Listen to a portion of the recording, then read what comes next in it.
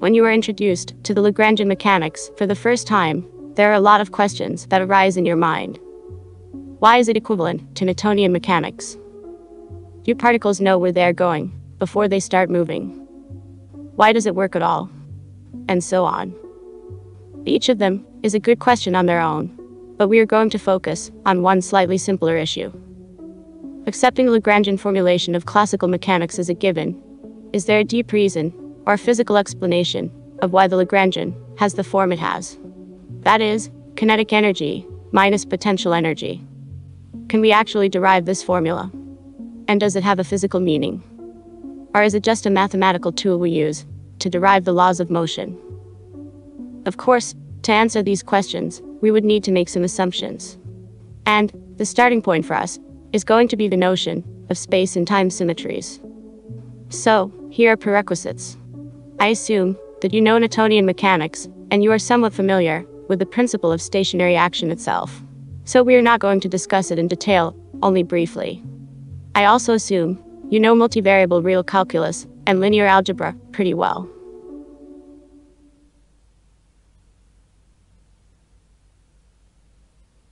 Let's start with the principle of stationary action. We will formulate it for the case of a point particle moving in R3 first. So, we have a particle that moves between two fixed points along some path R. And by path, we mean just a smooth map from R to R3. Some forces might act on a particle, or not. We don't know yet.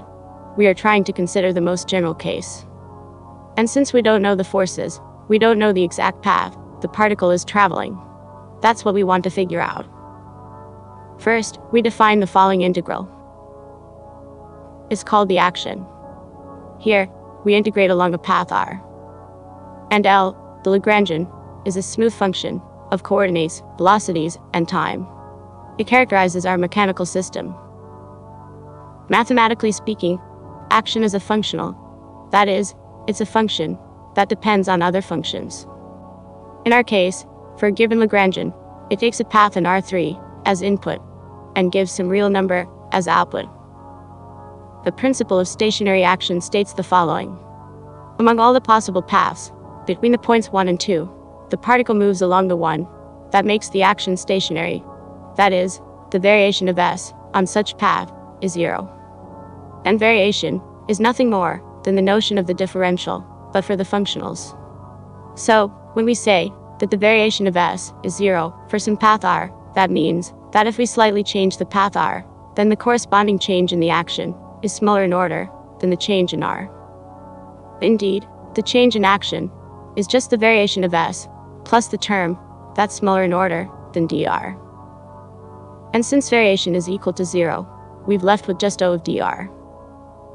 To gain a better understanding of this, you can compare it to the analogous statements about functions on R.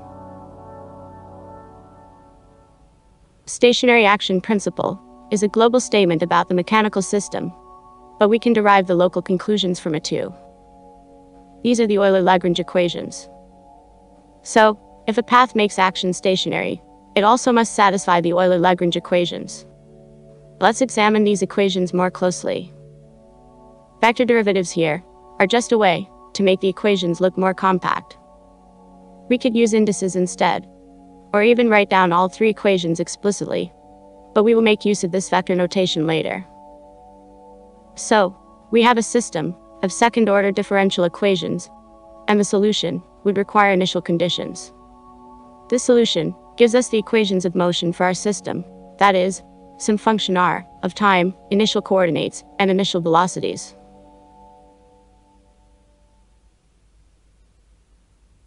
This is where we're transitioning to talking more about physics. So, the physical claim is the following. Define the function L as kinetic energy minus potential energy. Then, the Euler-Lagrange equations are sufficient to reproduce all the results of Newtonian mechanics. In fact, you can see the Euler-Lagrange equations as a fancy way of writing down Newton's second law. Indeed, let's look at our case of a particle moving in Euclidean space. The derivative of L with respect to velocity gives us a momentum of a particle. And the derivative of L with respect to position vector gives us the force that's acting on a particle. So, as a result, we obtain Newton's second law. We focused only on a simple example of a point particle, but Lagrangian mechanics, of course, makes more general claims.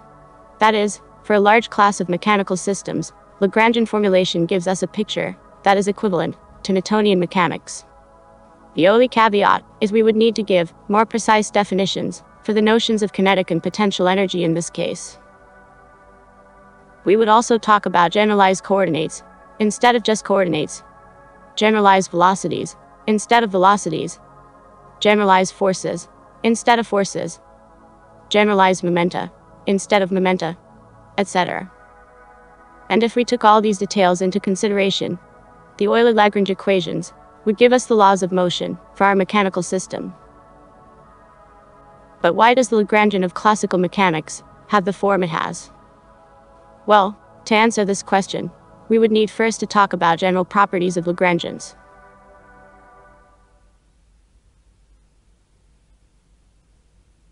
Let's consider two systems, A and B. And let's say, these systems do not influence each other. Mathematically, this means that the Lagrangian of the system A doesn't depend on the quantities of the system B, and the Lagrangian of the system B doesn't depend on the quantities of the system A. Physically, we can say that systems A and B do not interact. For example, they are at a large distance from each other. But what if we want to consider a system that consists of A and B as its subsystems? What would be the correct form of the Lagrangian for such system? Well, if we look at the Euler-Lagrange equations, it's not hard to see that the answer is LA plus LB. Indeed, the coordinates of such system are just coordinates of systems A and B combined. And the Euler-Lagrange equations would then give us the laws of motion for two non-interacting subsystems A and B.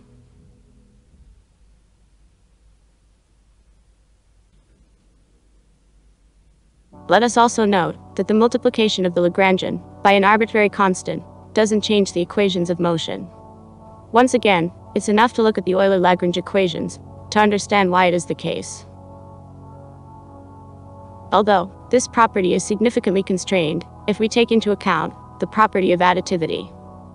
Yes, we can multiply Lagrangians by arbitrary constants, but only if we multiply all the Lagrangian at once, and by the same constant. Physically, this corresponds to the choice of units of measure.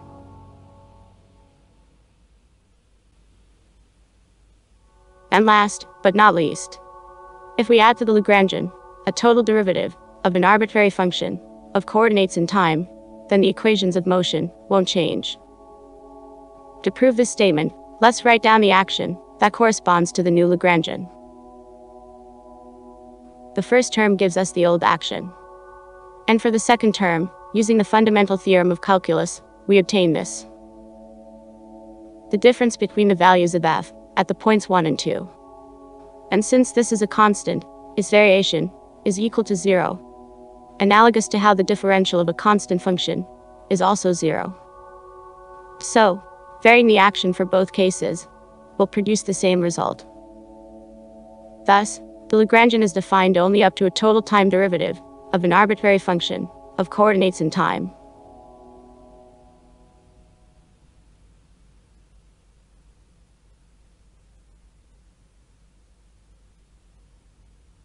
As you know, Newtonian mechanics postulates the existence of a special class of reference frames in which free bodies move uniformly along straight lines.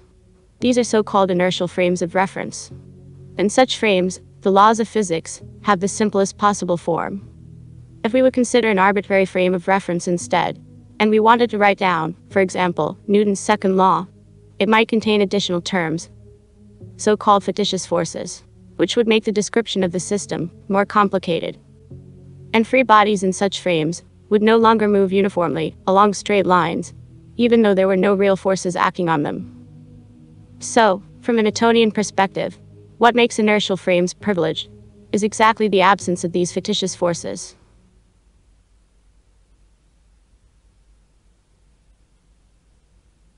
Let's consider a motion, described by the following equation, in some inertial frame k. And let another frame k prime move with a constant velocity v, relative to k. then the description of the same motion, in these two frames, will be related by the following formula. Here, big R is a vector that gives the position of the origin of k prime in the frame k.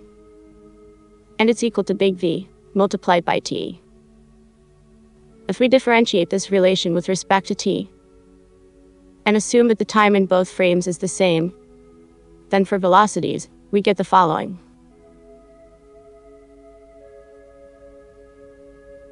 So, velocities in k and k prime obey the usual vector addition rules. By differentiating with respect to t one more time, we obtain a relation between the accelerations, which are now equal. This implies that Newton's laws in k and k prime have the same form. Thus, k prime is an inertial frame too. So, a frame that moves with a constant velocity relative to an inertial frame is also inertial. This implies that there's an infinite number of inertial frames moving with constant velocities relative to each other, with none of them being privileged in any way. And the laws of motion in them have the same form. The crucial assumption that we made was the existence of the universal time that is the same for all observers. It is precisely this assumption that specifies the rules of transformations between different inertial frames. This is the essence of the Galilean relativity. Introducing the notion of inertial frames as above is a perfectly reasonable and standard way of laying down the foundations of classical mechanics.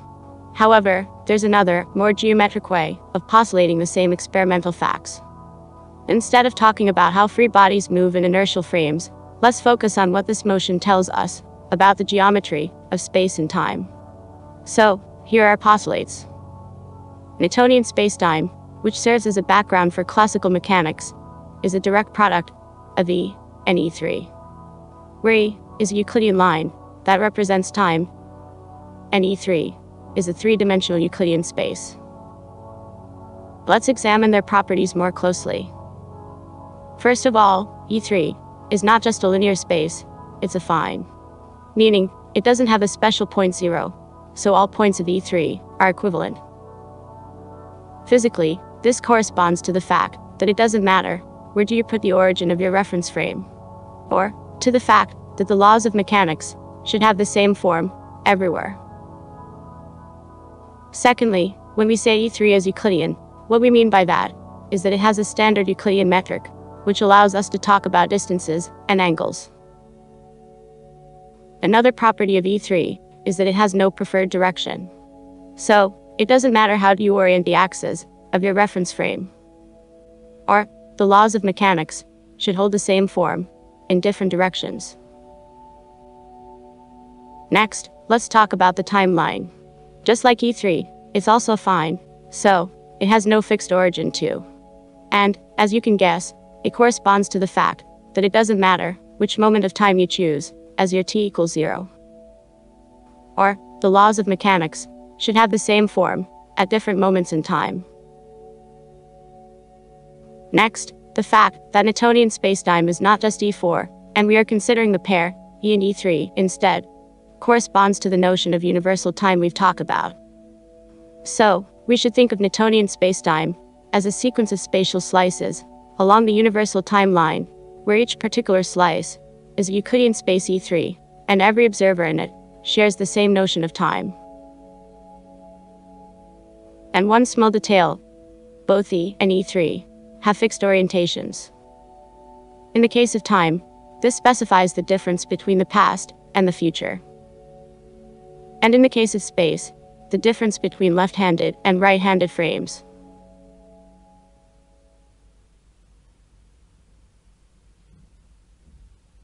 The properties of Newtonian spacetime, discussed above, can be also viewed through the lens of symmetry.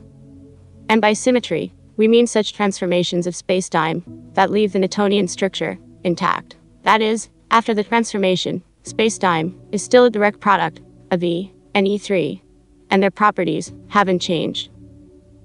For example, the property of homogeneity of space corresponds to the symmetry under spatial translations the property of isotropy of space, to the spatial rotations. and homogeneity of time to the time translations. There is, however, one more symmetry that we should add here. And that's the symmetry associated with moving from one inertial frame to another. These are so-called Galilean boosts. And they correspond to the property of Galilean relativity that we considered before. So, we have three types of spatial translations, three types of spatial rotations, one type of time translations, and three types of Galilean boosts. Together, they form a 10-dimensional symmetry group of Newtonian spacetime. This is so-called Galilei group.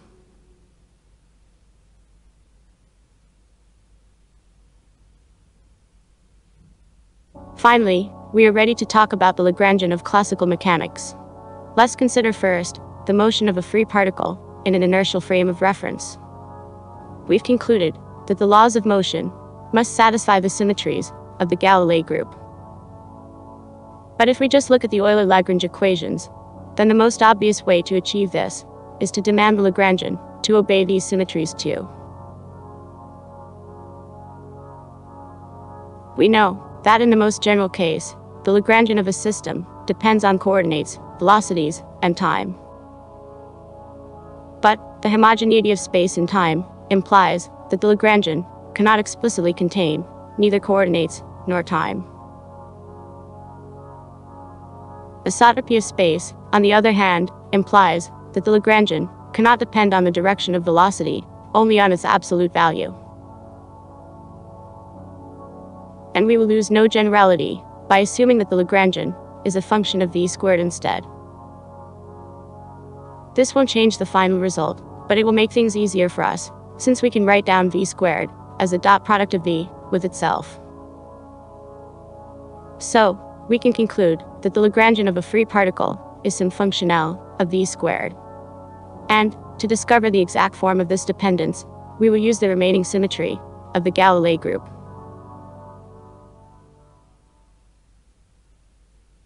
So, let's consider an inertial frame k prime that is moving with a small velocity epsilon relative to frame k. We demand Lagrangian of our system to hold the same form in both of these frames. Mathematically, this means that if L is some function of the squared velocity in k, then L prime should be the same function, but of the squared velocity in k prime. Next, let's consider L prime and replace v prime by v minus epsilon. Let's expand this expression. And change the sign. We could look at the argument of L as a sum of some variable x and a small term h.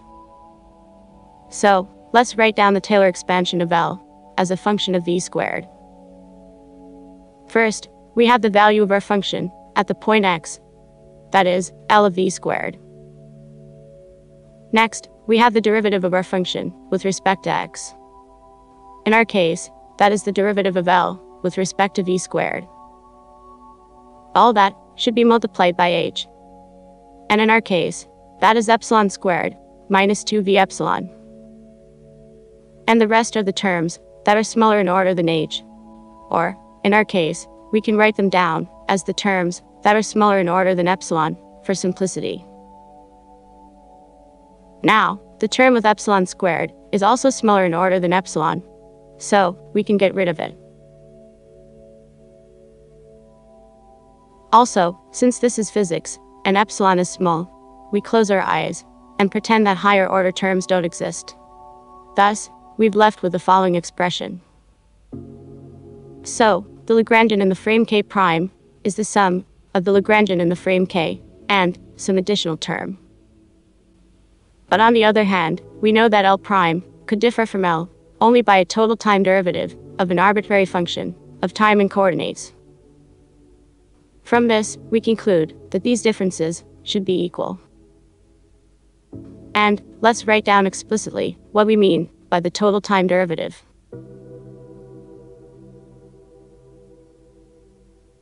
Changing dr by dt to v, we obtain this. We can see that the total derivative depends on v only linearly, since df by dr and df by dt don't contain v in any form. And since the left-hand side of our equation already have v, we can conclude that dl by dv squared doesn't depend on v. Otherwise, on the right side, we would have a linear function of v, and on the left side, a nonlinear function of v. So, dl by dv squared is constant, and the general solution for this equation is the following function, where alpha and beta are two constants. And again, since adding a total time derivative to the Lagrangian doesn't change the equations of motion, we can choose beta to be zero. This term doesn't matter.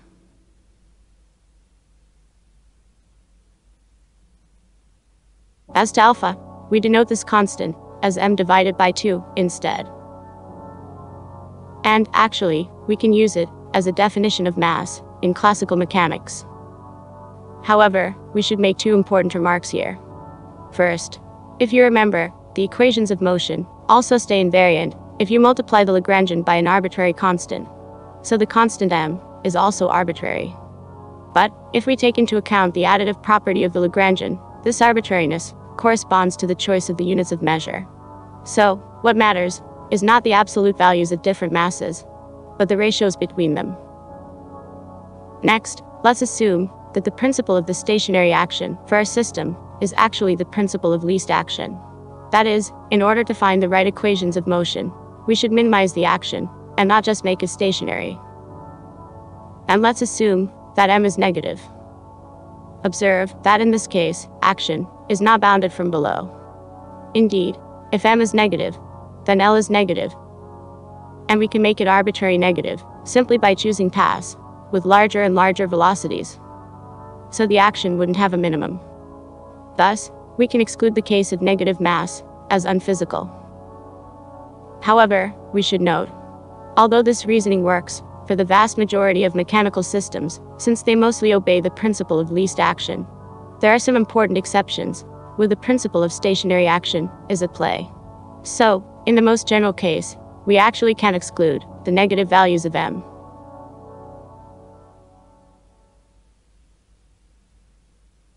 So, we've considered the motion of a free particle in the inertial frames k and k prime, where k prime was moving with a small velocity epsilon relative to k.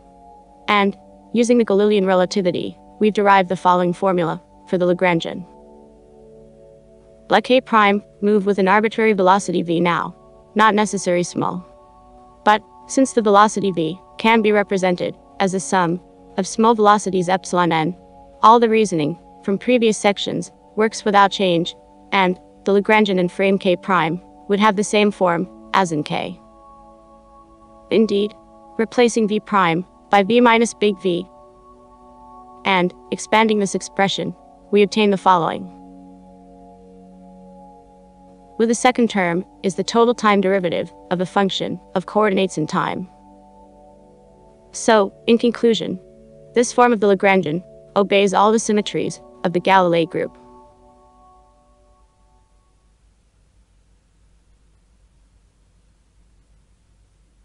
In order to obtain the Lagrangian of a system of free, non-interacting particles, we should just remember the property of additivity.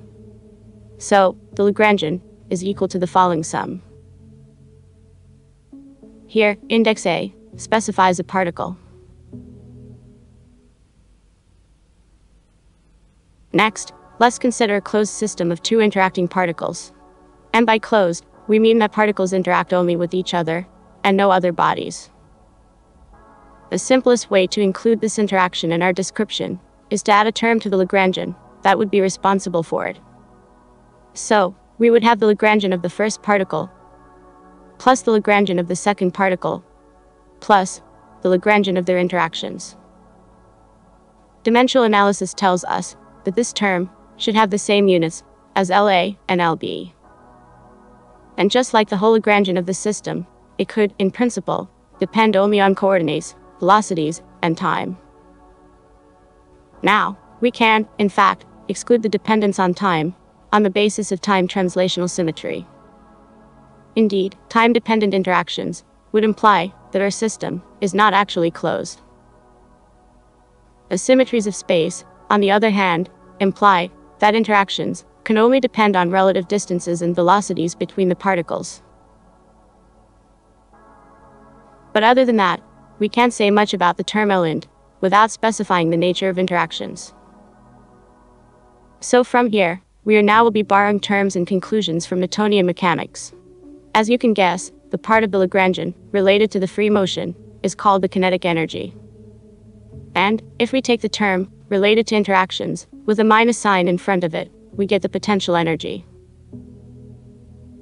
We can generalize these results for an arbitrary number of interacting particles.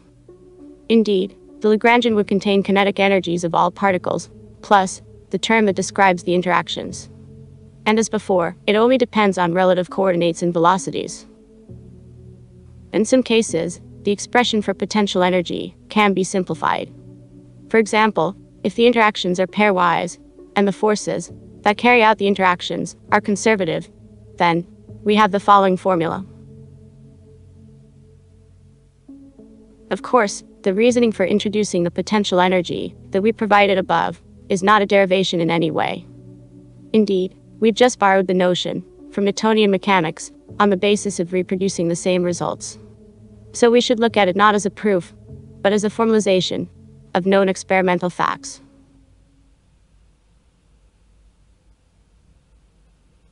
So far, we've talked about systems of particles, but as you probably already know, the Lagrangian description works for many other mechanical systems too. As we've mentioned before, we would need to talk about generalized coordinates instead, in such cases, but the general idea stays the same. We have the action, and we need to make it stationary. The Lagrangian is still kinetic energy, minus potential energy, as before. But what exactly is meant by these notions would depend on a particular mechanical system. So, let's consider a closed system, that consists of two interacting subsystems, A and B. Then, if we denote the generalized coordinates of systems A and B by QA and QB, the Lagrangian can be written as a sum of the following terms. Kinetic energy of A, kinetic energy of B, and minus potential energy of their interactions. Note that for kinetic energy, we have now dependence on coordinates too, which is, in fact, the most general case. And let's assume that we actually know the motion of the subsystem B, that is, some function qb of time. If we now replace the coordinates qb and velocities q dot b in the Lagrangian by this given function and its derivative, then we'll obtain the following. Kinetic energy of the subsystem B is now some function of time and can be represented as a total time derivative. Thus, we can ignore it.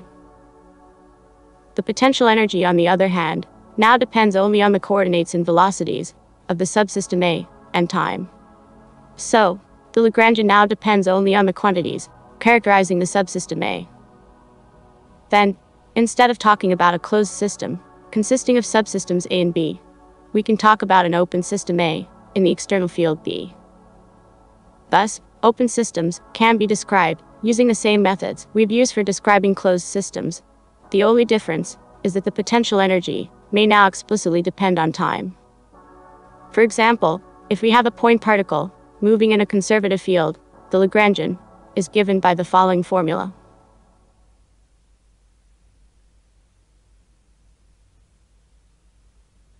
Summing up, we've postulated the principle of stationary action talk about general properties of Lagrangians. Then, building on the notion of inertial frames of reference, we introduce the concept of Newtonian spacetime. And, taking into account the symmetries of this spacetime, we've derived the Lagrangian of a free particle. Using this insight, we've considered other, less trivial, mechanical systems. And, partly based on the general considerations, partly on the concepts from Newtonian mechanics, we've come to the general form of the Lagrangian. So, can you derive the Lagrangian of classical mechanics? The answer is, somewhat yes, but not really. You see, when trying to describe certain physical phenomena, it's often the case that there is more than one way of doing that. That is, there is more than one mathematical model that fits the known experimental facts. In the case of classical mechanics, that's particularly true. we can describe the same phenomena using the language of Newtonian mechanics, or Lagrangian mechanics, or Hamiltonian mechanics, or symplectic geometry, etc. Some of these descriptions can be preferred when talking about a specific phenomenon. Sometimes, a particular language makes the description way more simpler, or even provides some insight that was hidden in other descriptions. In the case of Lagrangian mechanics, for example, we can say that the system evolves along the path that minimizes transfers between kinetic and potential energies.